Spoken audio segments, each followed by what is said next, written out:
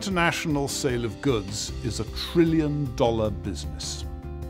It covers absolutely everything, from commodities to Caterpillar tractors, from toys from China to Toyota trucks from Japan.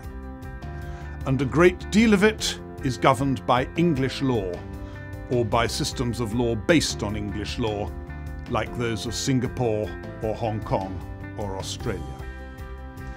This course covers the legal side of that business and does it in detail. It deals with English contract law and international sales law. It deals with standard forms of sale. It covers CIF contracts, FOB contracts, and Incoterms.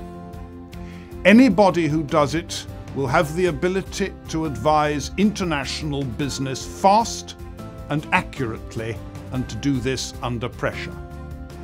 And anybody who has that kind of ability is likely to be very hot property indeed in the hands of any international commercial law firm.